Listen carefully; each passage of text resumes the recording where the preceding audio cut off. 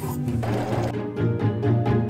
Friends, welcome back to my channel where we make pretty costumes and things. In today's video, I'm going to take apart the first corset I ever made and use some of the parts to make a new 1890s corset for my Nadja cosplay. This is part of my What We Do in the Shadows series here on this channel. In the last video, I made these combinations to wear underneath this corset, and I've also made the Nandor the Relentless costume for my partner. My goal in this video is to make a higher quality corset using the information that I've learned over the last six years since I made the first corset. Yesterday, I took apart this gray 1890s corset that I made back in 2016 for my Vanessa Ives cosplay. I made the original corset using the black and yellow flossed corset pattern from the corset book by Jill Salen. For my original corset, I used a polyester taffeta, fusible interfacing, two layers of cotton, as well as spiral steel boning, a metal busk, and embroidered eyelets, as well as a satin ribbon for the closure in the back. I will say the fit of this corset was pretty spot on. It was always very comfortable to wear, aside from it being pretty warm. And I'm pretty sure the warmth came from the polyester fabric and the fusible interfacing and the two layers of cotton. So my fabric choice for the new corset is going to be a silk taffeta, coutil, and only one layer of cotton for the lining. I am still going to use the cording. I'm also going to still use the spiral steel boning as well as the steel busk that's at the front of the corset. I do plan to make bias tape out of leftover scraps of the silk taffeta instead of cotton just because I want, I think it'll look a little bit cleaner and nicer. And in the back, I'm going to add a piece of boning alongside the grommets where it laces up to add just a little bit more support for that closure. And instead of hand embroidering grommets, I am going to use metal grommets. There is a technique that you can do where you cover metal grommets with embroidery thread. I don't think I'm gonna do that. I'm not sure if it's necessary or if it's going to add value to the corset. So we're just gonna stick to metal grommets instead. In the original corset, I also had some really weird stitch lines all over the place around the busk and in some areas of the busk, it was, the busk was like actually coming out. I don't think that I did as good of a job backstitching when I was installing the busk. So we're gonna definitely make sure to do that better. I'm also gonna spend a little bit more time and attention to detail on hand sewing the bias tape into the inside of the corset. Basically, some of my steel bones were coming out because I didn't do a stitch line at the bottom. I just hand sewed all of the bias tape on and it was pretty sloppy. So I think that I can keep my boning in place or inside the corset by uh, doing a little bit better job at that aspect of it. On the bright side, we don't need to make a mock-up for this video because I, like I said, I really like the fit of the original corset. So I don't feel the need to make any adjustments to the pattern. However, the paper that my pattern is on is a bit flimsy and I think it's ripped in places. So I want to take like a couple minutes to just transfer that over to some stronger paper so that I can have this pattern, you know, last me until the next time I decide to make it. And with that being said, let's get started.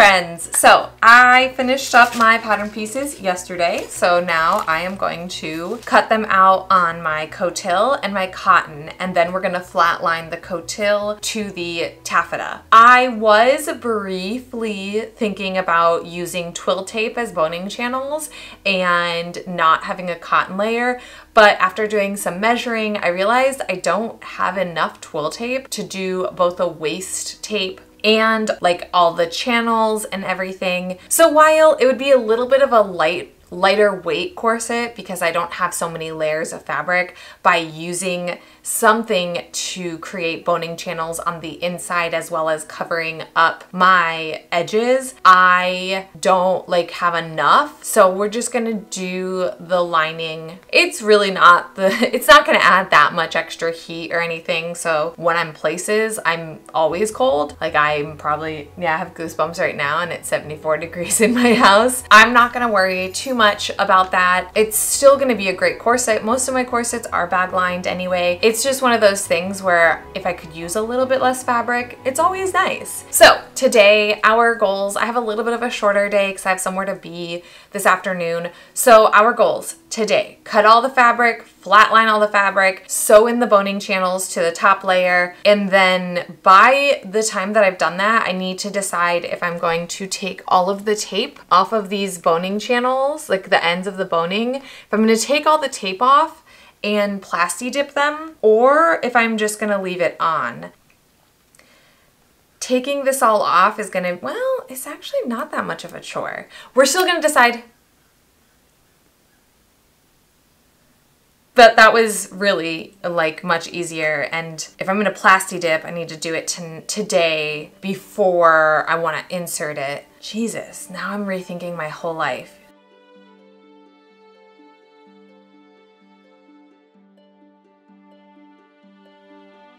Hello, darkness, my old friend.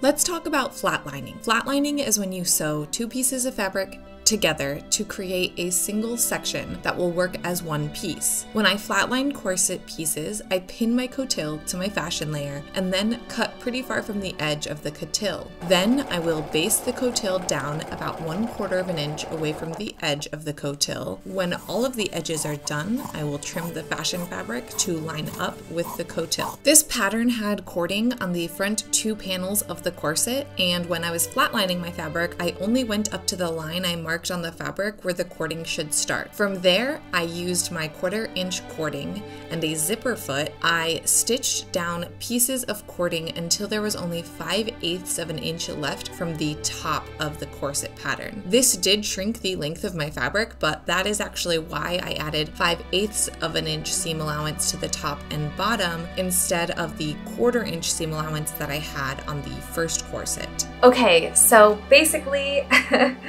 I got the cording done and that's as far as I got. I flatlined everything, everything is cut out. The cording is done. I actually forgot about the cording and then I was about to sew things together and I realized I have cording and it, it takes quite a long time. I also have a computerized sewing machine and I've been having like weird tension issues that have been really annoying and it's because I forgot to do the update. Ironically enough, I did the update and no issues. So, hey! Basically, I did not get nearly as far as I had hoped today, but it's looking really good. Like the the actual cording looks way better than anything I've done so far, like cording wise. So that's pretty cool. And I'm really loving the color of it. I'm super, it's kind of like, it's really vampy. Like this is the perfect red for it. I will see you all tomorrow where we will hopefully finish the corset or at least get all the way to setting the grommets. I had to order new grommets for this because I realized I didn't have any. All right, so I will see you all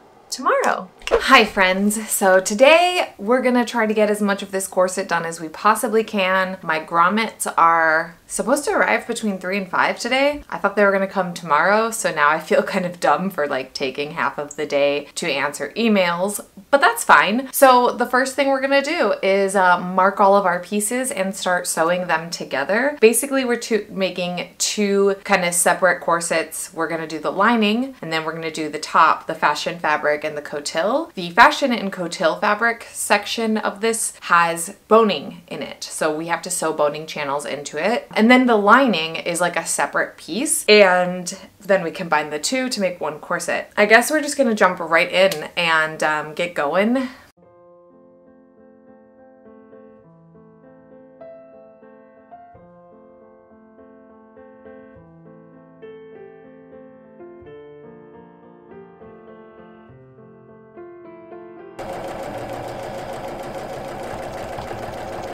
For boning channels, I start by pressing my seams open. I stitched these seams at 5 eighths of an inch seam allowance. Once they are flat, I pin them and sew them 1 quarter of an inch from the edge of the fabric. Then I repeat the process every time I add a new panel to my corset.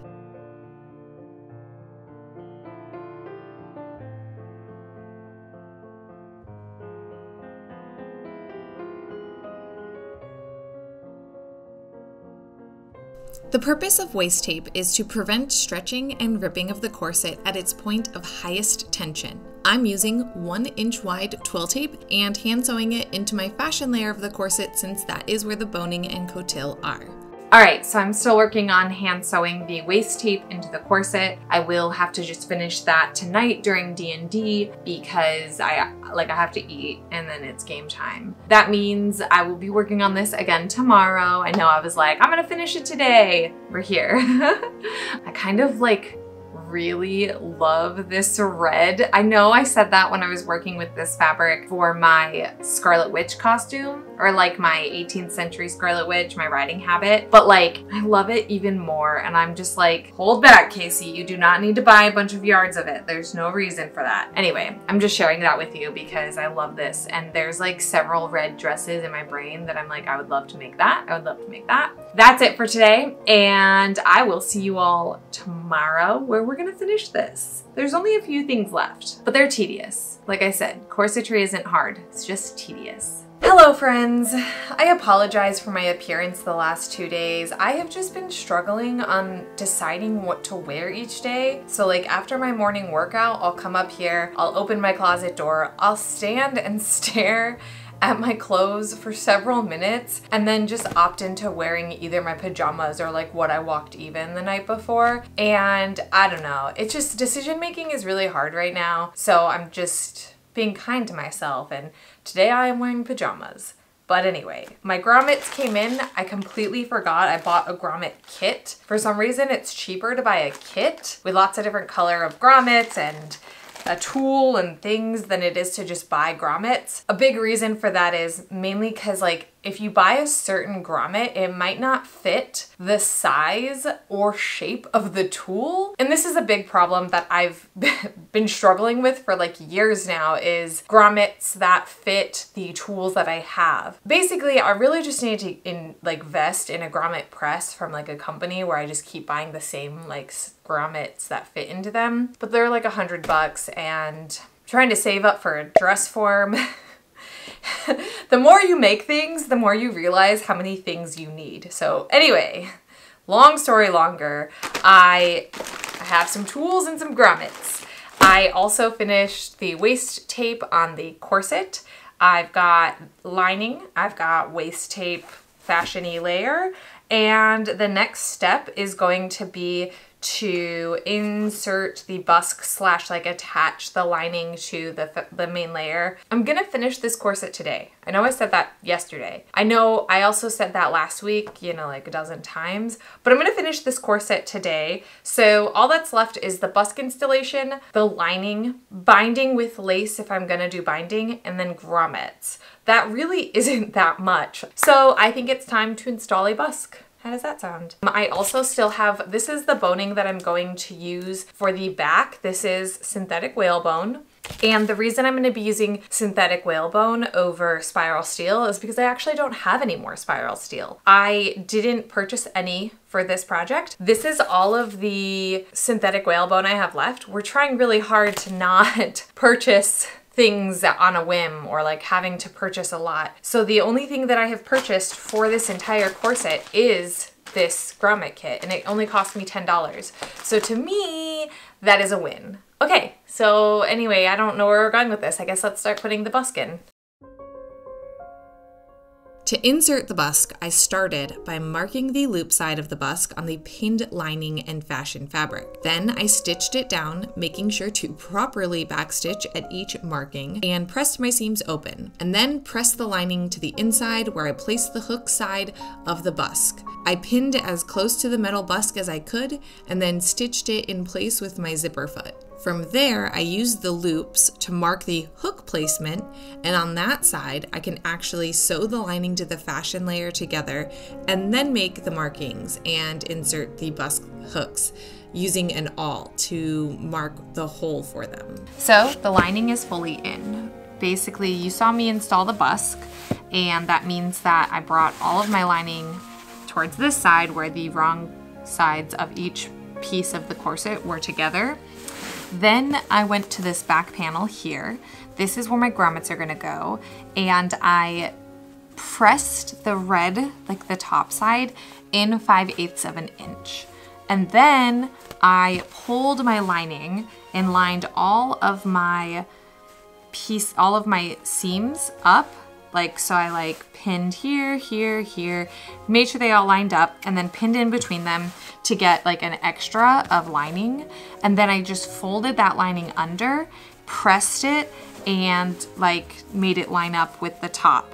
Then I actually stitched just this like lining to the corset top at this back edge first, just to get it nailed down.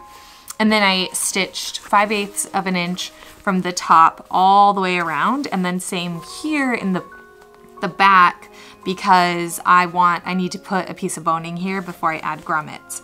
So now I'm gonna do that on the other side and then I can place my boning and grommets before trimming and doing bias. I used the lacing grid guide at one inch from Amped Atelier to mark my grommets and then installed them where I marked them.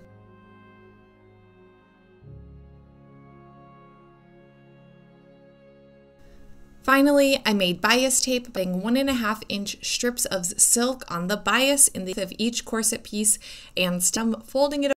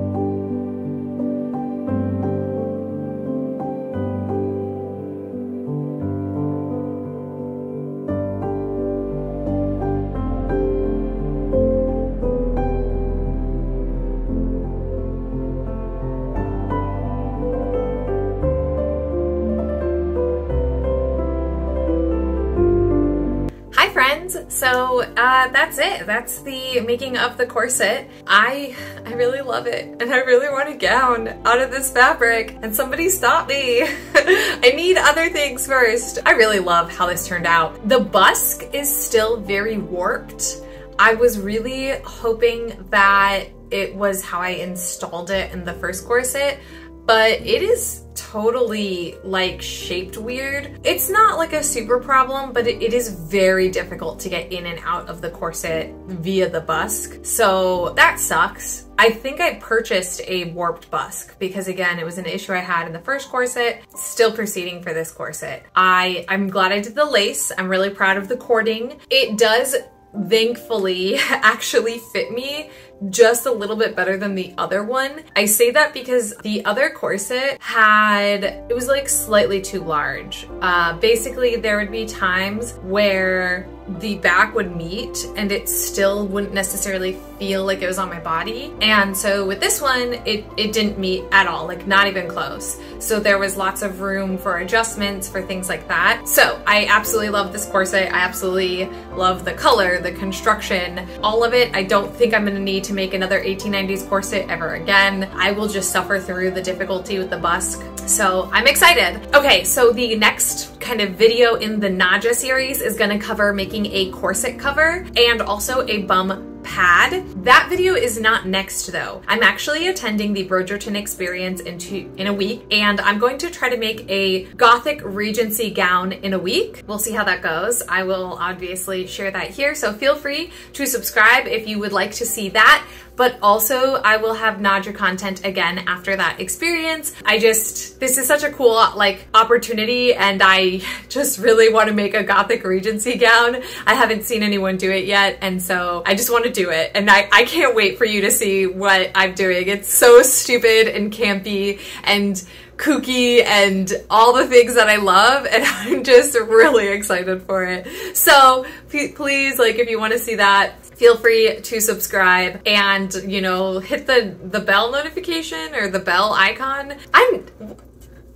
do I know how to do this? No. But anyway, thank you. And thanks everyone for your really encouraging words about my editing the last couple of videos. It means a lot to me that you are noticing some changes in the editing. So Thank you. All right, that's all I have to say for this week. So I will see you in the next one. And until next time, may all your dreams come true. Eva, you just shake it, shake it, shaking over there. Don't need, okay. My heart rate like jumped. Doing the waistband, not waistband. Mm.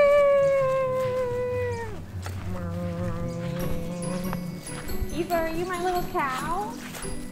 Ooh. Are you my little cow? Yeah, come on. You wanna go home? Daddy. Eva, let's go inside. Daddy. He's so nice and sunny. He's so nice and sunny out.